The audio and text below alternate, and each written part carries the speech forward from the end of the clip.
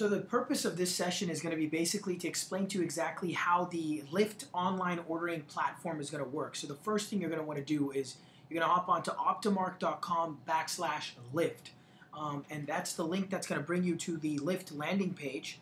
Um, and as I uh, explained to you guys earlier, we're going to be building this custom exactly the way that you guys are going to want it. So right now we have a standard uh, username and password. So you're going to go ahead and log in.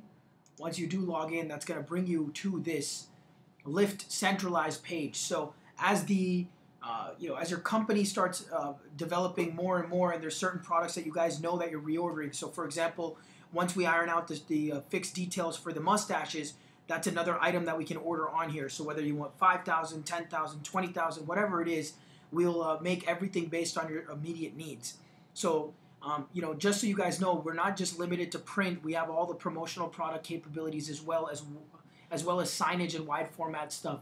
Even if you also want us to handle distributing out the uh, the other mustaches that you guys have in front of the vehicles, we can also accommodate and coordinate that all under this one centralized system. Um, so you guys will be able to kind of speak the language all across locations all, all over the country. So say we go to the business cards, for example, you click there. Now these are the couple options that we generated through our own design team. I know that uh, this was something that Austin had sent us over. And then this was an example of what we had seen in Boston, uh, which was a specific driver-related card where the referred by was was where the name came in. So we can make sure that we can uh, you know customize everything based on those uh, specific needs. So say you go ahead and click on any one of these, that's then going to bring you to a standardized ordering form. So we can set this up exactly the way you guys would want it. We can even have an Excel doc and be able to upload the artwork, and then you get a real life uh, you know preview right there and then um, so there's no preview process either. And then you could go ahead and place your order based on where you want it.